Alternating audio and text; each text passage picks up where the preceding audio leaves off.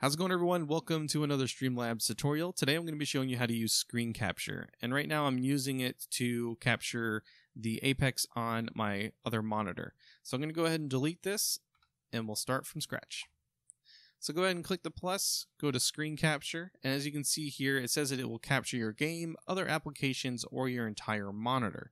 It will support most games, apps, and displays. The key word here is most, so not all.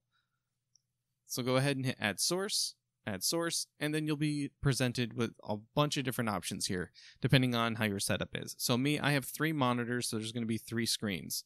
And then these are all the different applications that might be open that you might be able to use. So I'm going to hit automatic, and it's going to pull up the game because I want to capture the game. And then once you have that done, that's it. And you can resize it if you need to by dragging it in or dragging it out and then you can also lock it if you need to so that way nothing gets moved around.